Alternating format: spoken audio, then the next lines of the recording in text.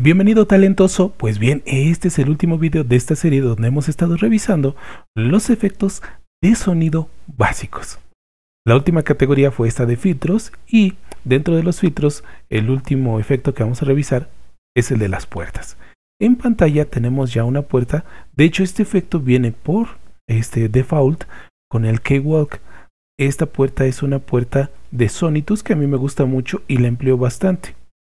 De hecho, cuando grabo los videos, siempre tengo un efecto de puerta en el micrófono. Porque este efecto lo que hace es eliminar el ruido, el ruido ambiente que se encuentra alrededor. ¿Cómo lo consigue? Pues es lo que vamos a revisar. Pues en pantalla estás observando este efecto. Vamos a revisar cuáles son los parámetros que podemos controlar. De entrada, mira aquí lo observas que tenemos el umbral en el cual va a funcionar el efecto. Si yo lo pongo acá hasta cero, lo que quiere decir es que el efecto entonces va a estar funcionando todo el tiempo. Cuando yo lo muevo, quiere decir que, mira, va a reaccionar cuando lo, el sonido, y en este caso esta escala está en decibeles, cuando llega ese umbral, cuando llega esta cantidad, ahí es donde entonces el efecto va a entrar en juego. Entonces el primer control es el umbral, y lo que le estoy indicando al efecto es entonces a partir de qué punto va a empezar a funcionar. Este es el primer parámetro. Luego tenemos estos parámetros que también son básicos y que te los vas a encontrar en todas las puertas. El tiempo de ataque. ¿Qué tan rápido va a reaccionar el efecto? Una vez que el sonido llega al umbral, ¿qué tan rápido va a actuar? Ese es el tiempo de ataque que está siempre medido en milisegundos. Luego tenemos que una vez que se activa el efecto, eh, una vez que llegamos a ese umbral y que el efecto reacciona, ¿qué tanto tiempo se va a mantener funcionando? ¿Qué tanto tiempo se mantiene activo? Eso es lo que quiere decirnos este control. Mira, ¿qué tanto tiempo se mantiene activo? Y luego tenemos la liberación. Bueno, ya cruzó el umbral el sonido, ya reaccionó el efecto y ya se mantuvo eh, funcionando. Después de eso, ¿cuánto tiempo va a tardar el efecto en desactivarse? Ese es el control que tenemos aquí, mira. También medido en milisegundos.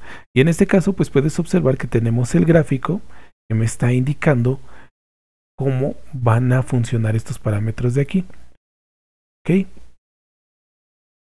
Y este de aquí, este parámetro, pues básicamente lo que me dice en cierto modo es la agresividad o la suavidad con la que va a actuar este efecto. Entonces, básicamente estos son los principales parámetros. Estos siempre te los vas a encontrar. El umbral, el tiempo de ataque, el tiempo de liberación y también el tiempo de funcionamiento.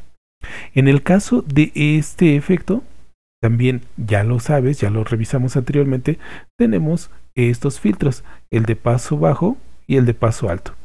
Aquí, Lovecut lo que nos dice es que vamos a cortar las frecuencias graves, que no las queremos. Y Cut Hike lo que nos dice es que vamos a cortar, a quitar las frecuencias agudas. En este caso están desactivadas, cuando dice off están desactivadas, eso está apagado. Y luego tenemos la ganancia, es decir, una vez que ya el efecto funcionó, ¿qué tanto vamos a atenuar el sonido? Tenemos aquí algunos presets y entonces voy a ajustarlo de una manera por defecto. Este, esta configuración que tiene en este momento, mira, el umbral a 33 decibeles. Vamos a cortar las frecuencias graves. Va a actuar eh, después de 10 milisegundos, se va a mantener activo por 40 milisegundos y se va a liberar después de 220 milisegundos. Esta configuración es para una puerta de ruido, que generalmente es la configuración que se utiliza, como te comentaba, en el micrófono.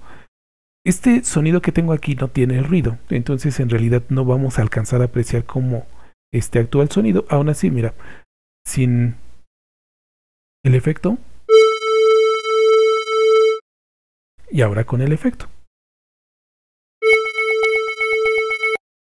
tengo activo el filtro. ahora sí la puerta nada más.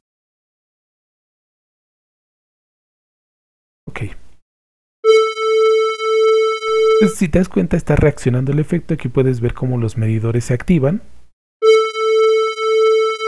Pero pues como este efecto, eh, perdón, este sonido no tiene ruido, pues no alcanzamos a percibirlo. Lo curioso es que este efecto lo has estado percibiendo todo el tiempo con el micrófono, insisto con este detalle. El micrófono se mantiene cerrado y una vez que se alcanza cierto umbral, que es justamente el volumen de mi voz, el micrófono se activa y deja pasar el sonido. Mientras no se eh, llegue este umbral, el, micrófono se mantiene inactivo, no reproduce ningún sonido. Esto me permite justo que no escuches el ruido ambiental que se encuentra alrededor. Voy a cambiar esta configuración porque lo que voy a hacer es subir este umbral y entonces ahora sí vas a ver que entonces sí vamos a, actuar sobre el sonido.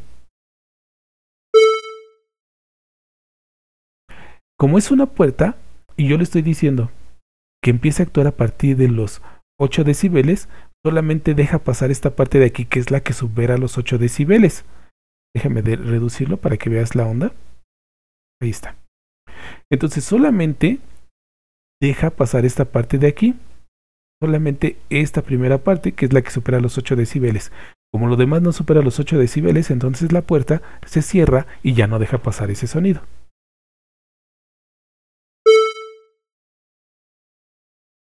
Ahora lo voy a reducir un poquito. Y la puerta parece que está pulsando porque lo que está ocurriendo es que solo deja pasar el sonido cuando llega a ese umbral. Si el sonido no llega a ese umbral, entonces no lo deja pasar. Si yo hago que esto actúe más lento, ahora mira lo que va a pasar con el sonido.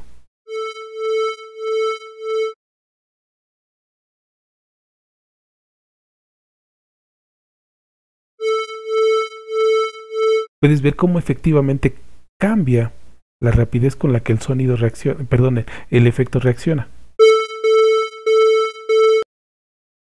Aquí también le voy a decir que lo libere mucho más rápido y nota también lo que ocurre. Como la puerta se abre y rápido se cierra, puedes ver cómo entonces el sonido este, se nos parece a nosotros como que se apaga. La puerta se abre rápido e inmediatamente se vuelve a cerrar.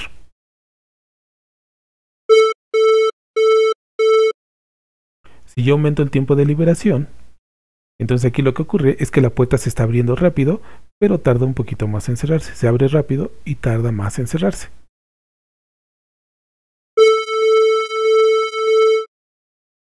Ahora, si yo aumento este tiempo de ataque, la puerta tarda en abrirse y tarda en cerrarse, tarda en abrirse y tarda en cerrarse.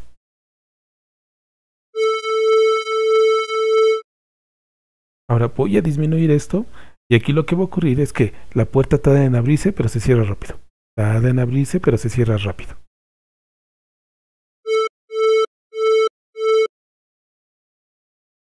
Así es como funciona una puerta. Básicamente este es el funcionamiento. La puerta este, se abre y aquí lo que estamos haciendo es controlando la rapidez con la que la puerta se abre, que es el tiempo de ataque, el tiempo en que la puerta se mantiene abierto, abierta, que es el hold, y luego el relays, que es el tiempo que tarda la puerta en volverse a cerrar. Y luego el umbral, el threshold, lo que nos está diciendo es a partir de qué momento se va a abrir la puerta.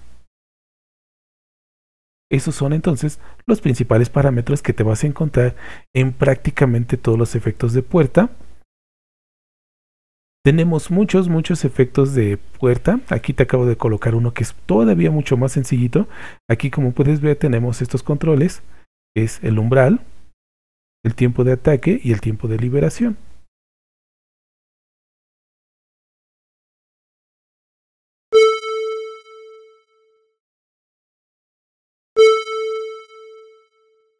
Ahora estás escuchando este efecto de aquí, este efecto de puerta.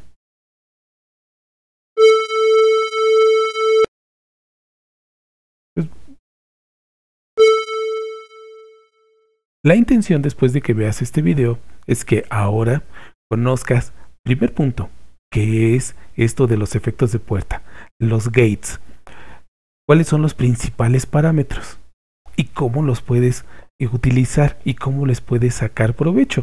Porque como lo comentaba, y perdón que sea tan reiterativo con esto, es un efecto tremendamente útil porque, por ejemplo, yo lo utilizo todo el tiempo para los videos en el micrófono. Entonces este efecto es muy, pero muy útil. Si yo he conseguido esto, que te quedes con este concepto general de que es el efecto de puerta, que conozcas cuáles son los parámetros y cómo te puedes beneficiar de este efecto, pues por favor indica que el video te ha gustado, suscríbete al canal y visítanos regularmente. Pues por lo pronto yo me despido de ti como siempre, deseando que la pases muy, pero muy chévere.